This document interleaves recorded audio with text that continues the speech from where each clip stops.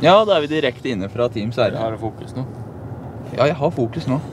Du, direkte inne fra Team Sverre. Ja. Hvordan er formen?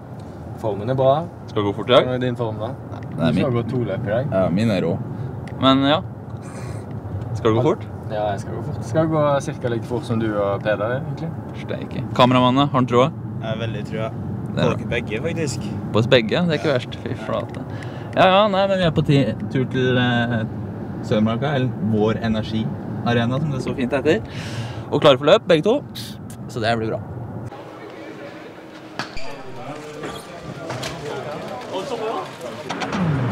Cut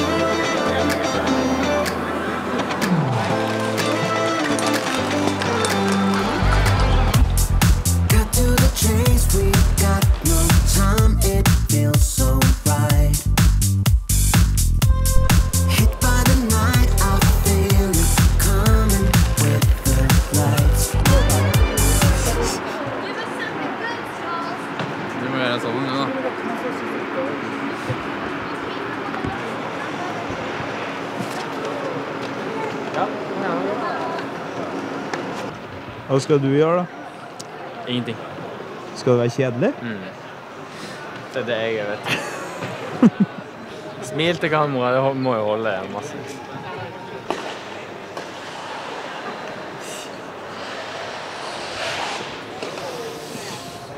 Hva skulle du hatt for å gjort det samme? Nei, det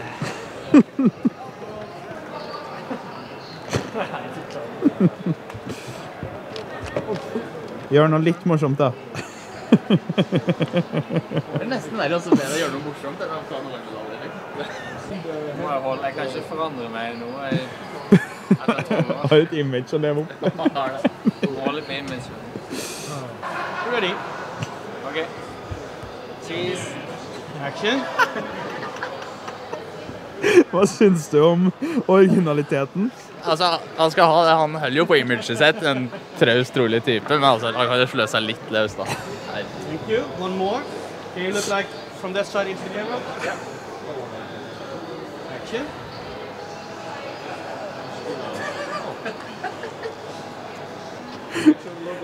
Du kunne ha gjort noe sånn, da.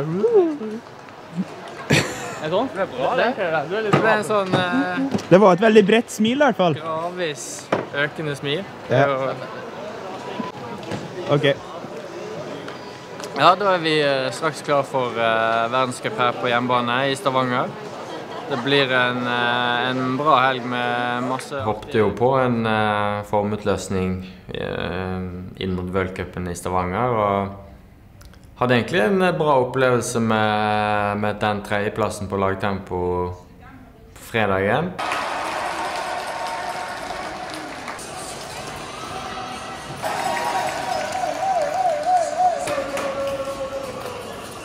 Og eh, dagen etterpå var det 5000 i B-gruppen. Eh, hadde som mål om å, å gå meg opp til A-gruppen der. Eh, men eh, jeg kjente tidlig i løpet at jeg, jeg var langt unna det nivået og ja, jeg skal være på, og, og ingenting fungerte. Det var akkurat som at uh, kroppen trakk i håndbrekket etter fem runder på 5000. Da var uh, første verdenscup i Stavanger over. Det ble ja, en tredjeplass på lagtempo på fredag var positivt og lovende, men uh, gårsdagens 5000 det ble en tung opplevelse. og ja, Det var en, eh, skuffende, et skuffende løp, for jeg var giret og motivert for å kline til og gå et eh, bra løp, men jeg kjenner med en gang at kroppen fungerer dårlig om dagen. Så eh, jeg må gjøre noen grep og finne ut av om det er noe som er galt, og så må vi ta noen justeringer framover for å For jeg kan ikke drive og gå sånn her. Det, det kjenner jeg at eh, det klarer jeg ikke. Så jeg må få kroppen på rett plass igjen og så jobbe derfra. Så får vi se. Ja, når den helgen i Stavanger var jeg ikke veldig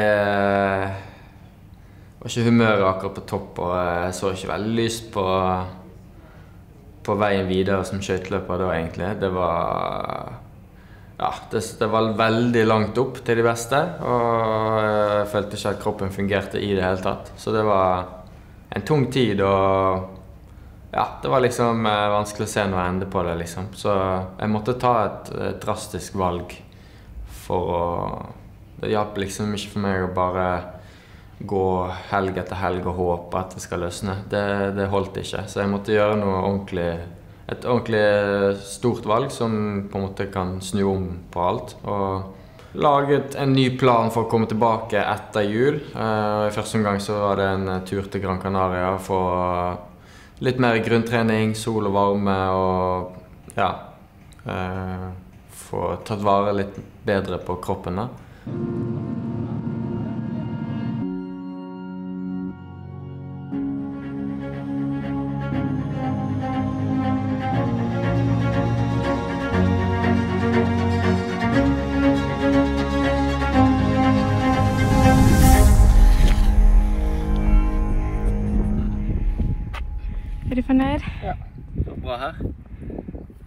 Rundt og rundt, men det er jo vant til. Hvor mange kilometer ble det? Jeg gikk 8,2 på første 15 minutter. Det er ikke så verst, da. Så nå er det 12 minutter, og så er det 10. Det var jo eh, mye alene. Jeg trente jo stort sett alene hele tiden og måtte dekke alt av utgifter og turer sjøl. Så det var en krevende tid, men eh, jeg kom, følte at jeg hadde veldig godt av det. da. Og fikk startet litt på nytt igjen.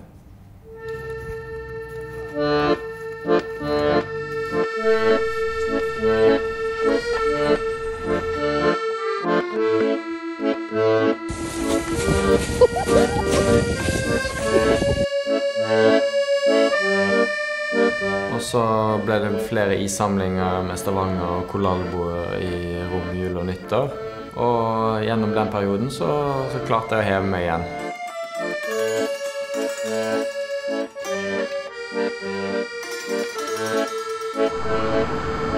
Bolzano der nede. Der starta Sverige fra for ca. et kvarter siden. Nå har han kanskje sykla en tredel, og her kommer han. Omgitt av eh, vinmarker. 13,5 km skal han. Ca. en halvtime igjen. Kjør på! Da var han i mål. Fire minutter raskere enn for ei uke siden. Hvordan var det? Ja, hardt. Hardt. Ja, det var vanskelig. ja. Jeg klarte ikke å øke. Ja, 48. Det er bra.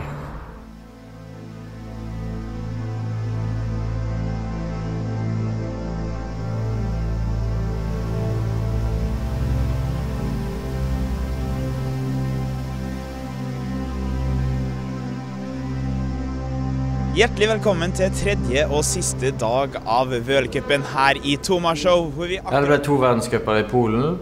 Eh, der gikk jeg meg opp fra B-gruppen eh, på 5000. Eh, vant lagtempo sammen med Peder og, og Sander. Og siste helgen i, i A-gruppen så ble jeg vel nummer syv eller åtte.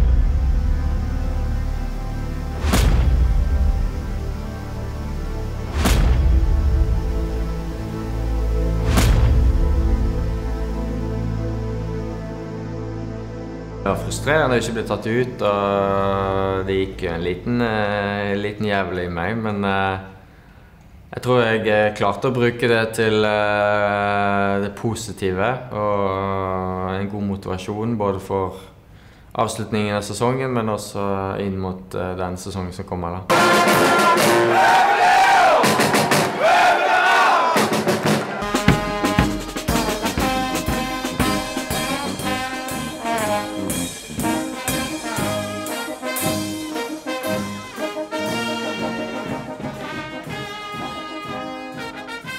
Dessverre ble Sander syk siste uken eh, før VM, og jeg fikk plassen hans. Så jeg gjorde jo egentlig min beste prestasjon i VM på 5000. Så um, det var egentlig det viktigste med, med den sesongen. At, uh, å kjenne at ting fungerer igjen, og at uh, jeg er klar til å prestere og, og, og yte maks, egentlig. Og det gir meg jo eh, motivasjon og, og troen på at jeg kan ta, ta det til et nytt nivå til vinteren, og det er det som er målet. Jeg, eh, Jeg eh, driver ikke med dette fordi jeg skal samle på de syvende- og åttendeplassene. Det er for å være med og kjempe i toppen.